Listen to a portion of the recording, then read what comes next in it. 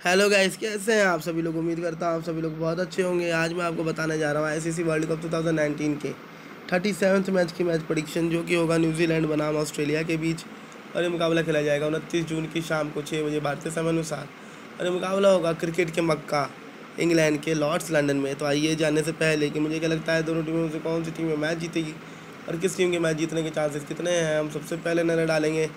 दोनों टीमों की गेंदबाजी के ऊपर और देखेंगे किस टीम की गेंदबाजी कितनी स्ट्रॉन्ग है। तो सबसे पहले अगर मैं न्यूजीलैंड की गेंदबाजी भी न डालूँ तो न्यूजीलैंड के पास जो गेंदबाज है, मैं Tim Southee, Trent Boult, Matt Henry और लॉकी फर्गसन जैसे तेज़ गेंदबाज और साथ ही साथ अगर मैं स्पिनर्स पर नज़र डालूँ न्यूजीलैंड के पास तो न्यूजीलैंड के पास जो स्पिनर्स हैं वह है ईस्ट शोडी और मिशेल सैंडर जैसे स्पिनर्स दोस्तों। वही अगर मैं ऑस्ट्रेलिया की गेंदबाजी में न डालूँ तो उनके पास मिशेल स्टार्क, जो कि बेहतरीन फॉर्म में है, Jason Behrendorff Pat Cummins Adam Zampa Nathan Lyon जैसे गेंदबाज है दोस्तों। तो अगर मैं पल्ला भारी की बात करूँ तो मुझे तो गेंदबाजी में हल्का सा न्यूजीलैंड का पल्ला भारी लग रहा है। साथ ही साथ दोस्तों, अगर मैं बल्लेबाजी की बात करूँ, और सबसे पहले अगर मैं ऑस्ट्रेलिया की बल्लेबाजी पर नज़र डालूँ तो ऑस्ट्रेलिया के पास जो बल्लेबाज हैं डेविड वार्नर और एरन फिंच जो कि कमाल कमाल की फॉर्म में है इस वर्ल्ड कप में।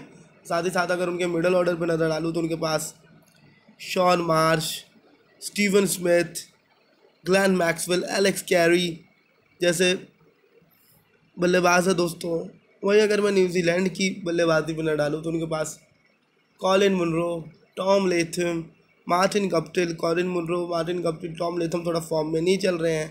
और साथ ही साथ जो उनके पास, जो मिडल ऑर्डर के बल्लेबाज हैं न्यूजीलैंड के पास, वो हैं केन विलियमसन रॉस टेलर और कॉलिन ग्रैंड होम जैसे और जिमी नीशम जैसे बल्लेबाज। और जिमी नीशम ने तो क्या बेहतरीन बल्लेबाजी की थी पाकिस्तान के खिलाफ। हालाँकि न्यूजीलैंड हार गया, लेकिन बेहतरीन बल्लेबाजी की थी जिमी में। तो अगर मैं बल्लेबाजी की पल्ला भारी की बात करूँ तो भले ही गेंदबाजी में न्यूजीलैंड का पल्ला भारी हो और बल्लेबाजी में मुझे ऑस्ट्रेलिया का पल्ला भारी लग रहा है। दोस्तों, अब आइए इस पर नज़र डालते हैं कि कौन सी टीमें मैच जीतेगी। और उससे दोस्तों, मैं आपसे कोई रिक्वेस्ट करना चाहता हूँ कि अगर मेरी मैच प्रडिक्शन आपको अच्छी लगती है तो प्लीज़ कमेंट करके बताएँ कि आपको मेरी प्रडिक्शन कितनी अच्छी लगती है और मुझे सपोर्ट करें। सब्सक्राइब करके। जी हाँ दोस्तों, आपका एक सब्सक्राइब मेरे लिए बहुत अहमियत है। आगे बढ़ने में मेरी बहुत हेल्प करेगा आपका एक सब्सक्राइब करना। तो अब आइए, ये जानते हैं कि मैच कौन सी टीम जीतेगी। जो मैच है, ये होगा क्रिकेट के मक्का कहे जाने वाले इंग्लैंड के लॉर्ड्स लंदन में।